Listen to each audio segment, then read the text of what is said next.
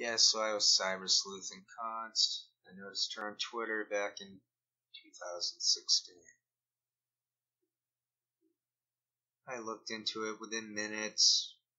I saw that she is a tool. She was with the Truman Project. I got her to confirm it. I was quite the cyber sleuth back in the day. She was trying to co opt the Bernie bot movement Mickey Konst is the proverbial Democrat in name only. Right there, there's the proof. I changed. You can change one name at Twitter. This before they banned me. She was in the Truman Project. She had some website. I don't think even matters. I forget. She's a tool. It, it's obvious she's a tool, and that's that. Okay, now we're gonna go to uh.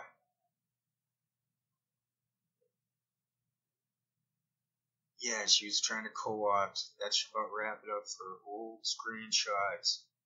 So I'm the Scoop King. The scoops are mine.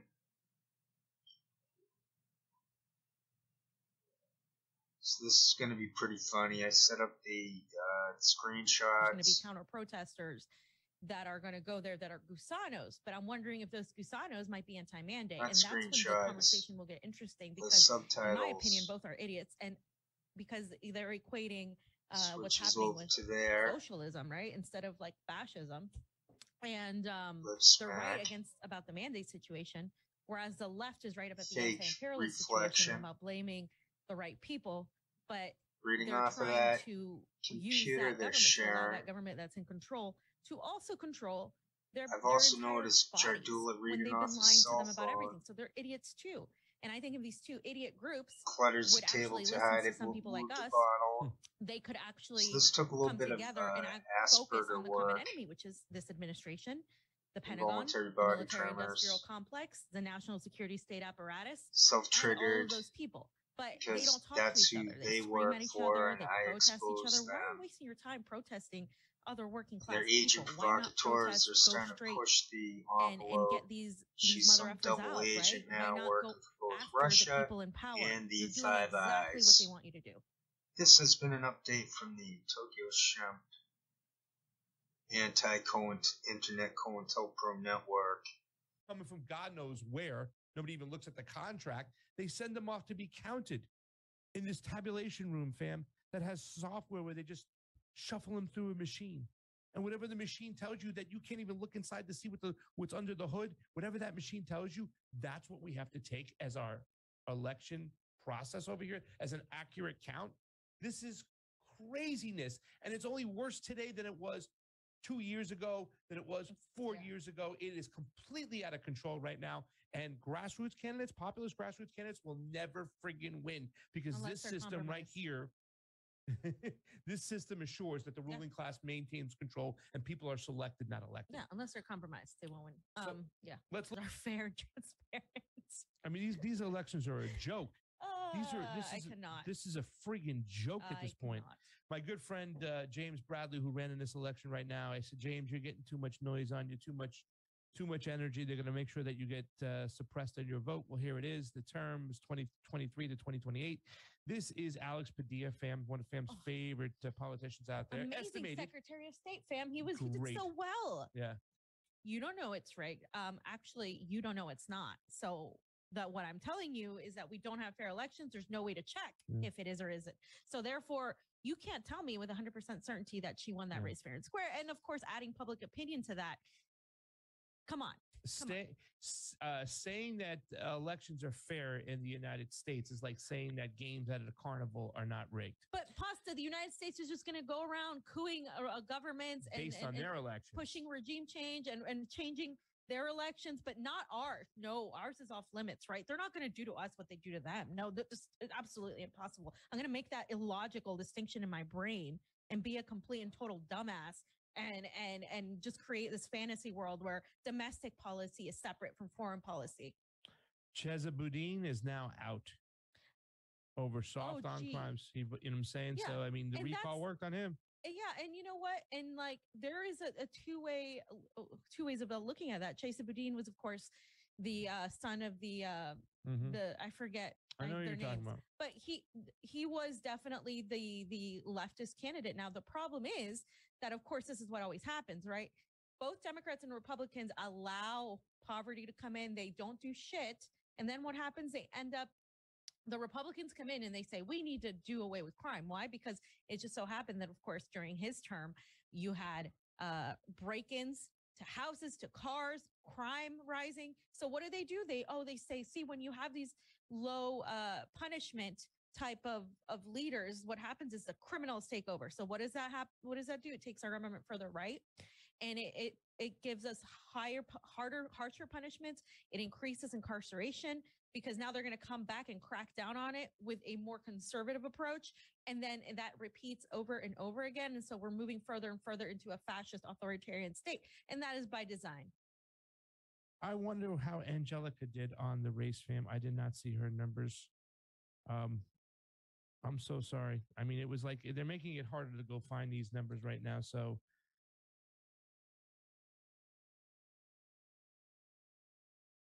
I mean, like, that's the other thing. You could just choose to like talk about comedy or talk about go. like. Uh, yeah, they just He's in over his head. Right, That so that's the was thing, and, and, and that's the bottom line. He's in over his head.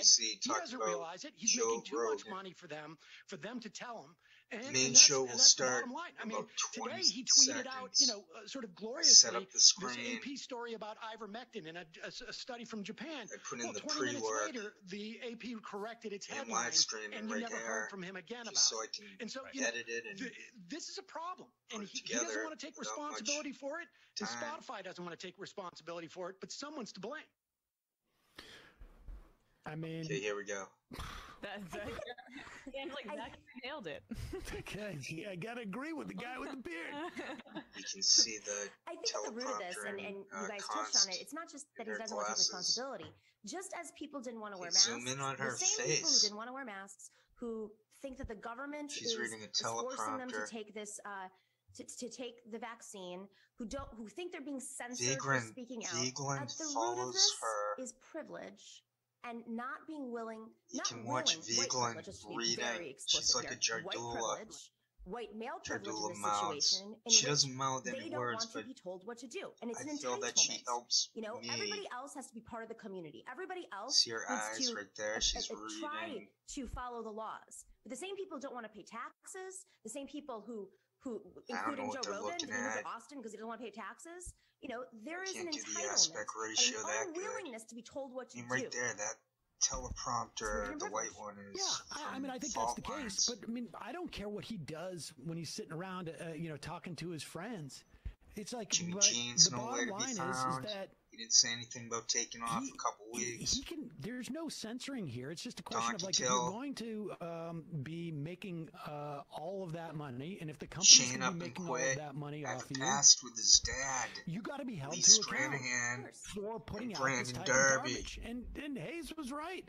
Like he doesn't have to. He doesn't have to. Uh, Of um, course. you know, wade into um, uh, COVID if he doesn't want to. Yeah. Well, if he wants to deflect, the if he teleprompter. wants to It's the same one too. It's like a military himself, if he contract. wants it to roll So off his back like water on a duck, then talk about DMT again and talk about MMA. That's what I said yesterday on the show. Like he does not have to be a peddling peddling COVID misinformation. Rogan.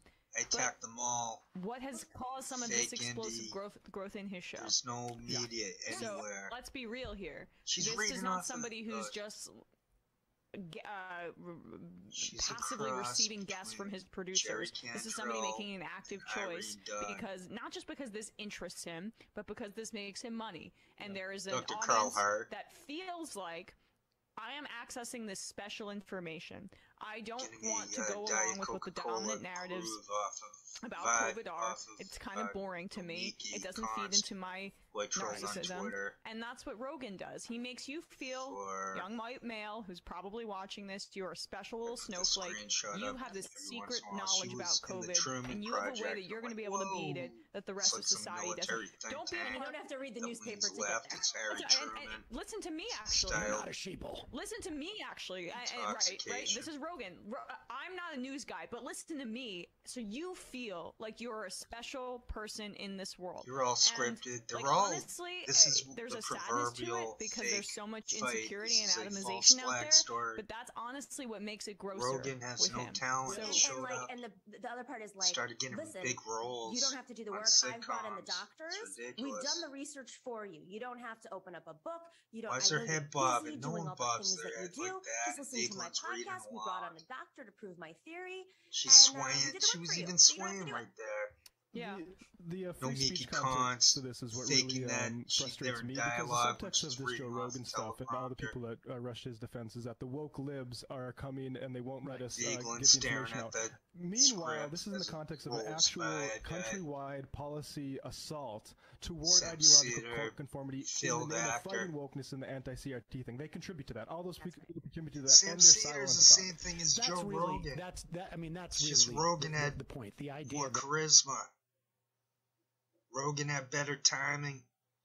the idea that you cannot hold uh, Joe Rogan to standards because of you know uh, other outlets don't properly hold their people to standards. It's just it's just BS. Well, they'll come to you, right? You were on MSNBC. I was Guilty. like saying this, and I'm sure that's like going to be used to impugn She has a whatever you have trick. to say Well, there, as if the uh, crossover uh, to this contract. and it's probably part- similar, like what what you were paid to go uh, on- on Chris Hayes' show last night, right? I Ad-libbing? I don't But there were some zeros. She ad-libbed uh, that. behind. I mean, She has a trick. I figured it out. year, uh, So her up, body even clear on is that. but- angled. Um, yeah, there towards was some uh, Seder. zeros involved in that. Her, her, Um, while her the- eyes but, but the idea is, I mean, I think that's a very small, uh, uh, uh, you know, group of people. The bottom line is, is Jamal that Thomas likes to grimace. He does a lot of incredibly irresponsible. angle and uh, work th- like this that. guy is. Seder's I mean, just I, outright reading right there. It really is more. that caught my eye. It it really is more of a story. crop of somebody out who their wants to eyes, you feel get a like, I mean, the amazing look. thing is that that They could have even Instagram done them uh, uh, cropped video out more like out, the foreheads and the Sir Braggy noses. doesn't do any research. That worked out But he really tries to well. have these guests The on. Well, point dude, in how do you know what guests like? You're About three picking minutes to go. This will be the last what? Why is the- through for Why that. is the flex that I'll have probably no play some more of it for a Because third it's sort of part, a thing but that these like bros do. They like. I'll sing true, some though. kind of mean, Bob It's Marley a- or something. It's a. This is this is a specific. I think. So Nomiki in Konst, this I feel that This is why the I think white Rogan tablet is teleprompter is those other reflecting right off wing her uh, shows. Is glasses. that he perceives himself? He is more uh, Seder is fairly sort of like the uh, a, a certain group of comedians and Vigeland staring at it a little feel like there is some type But of if you miss that, that they Vigeland have because just simply by being a comedian. Never mind, like, right there, he's not doing look- a comedy show. There was no, you know, he's her- not uh, any more it's than hard to uh, see. You know, he may be funnier than I watched than this on a very tiny We're screen. not doing a comedy show. He's not doing. I a wish I could go show. full He's screen a my live Where there. maybe there's times where his attitude is funny, or he says a funny thing, or he swears in a funny way. But this is not comedy when you're interviewing I don't a, uh, an epidemiologist. eyesight. Even So if you make something, even as a joke, you do not get some license can because you're see a what's going comedian the scam going go on. out I think and Vigeland was just looking over provide there. this there. information and There's have like no three people there. responsibility for it because well, it's under So the how do we all get on the artist. same I'm page? sorry. I That's know it takes a lot of it's editing He work. wants it both ways, and it's he doesn't even believe it. I, I think what I don't what I don't get is okay. So I'm curious to see how many people have actually dropped off of his, right here, his this show is going to be since he's funny. been going harder on this because he did take an active decision He's on this looking early before I even believe in. I mean, it's hard to kind of, but I remember I listened to that stupid Elon Musk interview because everyone said you have to listen to it. People on the left like you Yeah, have to listen to it. doing You have that to human to. This is like two years ago. And that was, I think, the first time I heard him question They're all on the various validity of pages COVID for nineteen their with Elon Musk. Now, for how to had an hide audience because of Elon Musk, and he had a large audience at that point. But he made a conscious decision at that point. How can they the script out crowd, complete even had a vaccine, dialogues that go on he for an hour, two hours at when a it was time? probably only I'm just spitballing here, like 15 maybe Infomercial 50% of his audience, vibe. pretty big, but like maybe it was seven percent. So She's how reading. much of his Come audience has been lost since he's made this move? Which might None. he doesn't need to build the audience. did the the glide over. folks. I'm actually That's pure don't that. I typewriter think movement. other people need Could to she- build right there, she's off the doing it. She skipped uh, one to a new line of- of paragraph. train of thought. The of Jimmy Dores ideas. and the other, you know, dumb dumb left. I don't think Joe Rogan needs to do What that. about the If he just Nomiki stuck to what he's Konst, been doing who all I along, outed he would probably have years kept more of his ago? audience because it's it's still s- it's it's a significant group of people. But Oh, it's she was looking down, but I His- wasn't paying His audience is attention. bigger. His, I, I, I understand his audience. There's only bigger, 20 more seconds to go? around Because of this very Well, I'll keep the film for him to rolling. take a risk I like this setup. I think he's on. Look for minority issue. Vigeland doing some I type don't of shady that side. because of a particular right issue. there. I think it's about That was him. pure. branding- All right, that's where the film cuts out, and I, and that's it. Thank you. I'll keep the thing. I'll rotate the thing and keep it going, and then that means all I gotta do is come up with a quick tune. I'm doing Kaya by Bob Marley.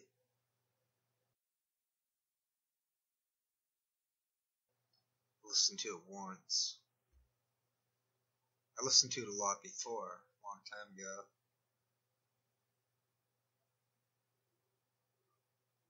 Clearly one of the better, the early days. Five, four, three, two, one. Just saying apologies in advance. I screwed up. Doesn't look so, so easy. Okay. Thank you. Five, four, three, two, one. Jardula Mimic me doing that. He went five. He did that. I barely ever listen to what they're saying, and the few times I do, I always end up hearing them mimic me.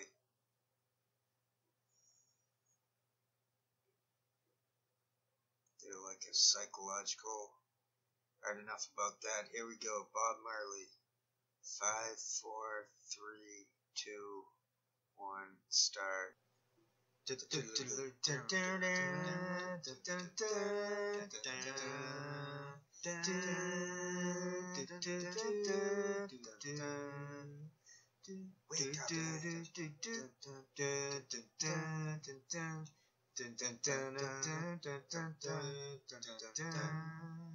up and turn on loose, for the rain is falling. Got to have Kaya now. Kaya. Got to have Kaya now. Kaya, Kaya. Got to have Kaya now. Kaya, Kaya. For the rain is falling. Oh, I feel so high. I even touch the sky above the falling rain. I feel so good in my neighborhood. Here I come again. I've got to have Kaya now. Got to have Kaya now. I've got to have Kaya now. For the rain is falling.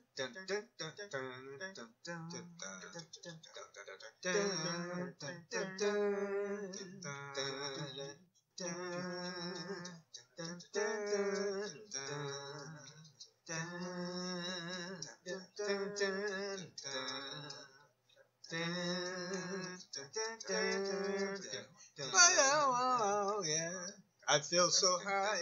I even touch the sky above the falling rain. Yeah, I feel so good in my neighborhood. So here I come again. I've got to have Kaya now. I've got to have Kaya now. I've got to have Kaya now. For the rain is falling. Get up and turn I loose. Wake up and turn I loose. Wake up and turn I loose. For the rain is falling. Whoa, Kaya man. Kaya man. Got to have Kaya now.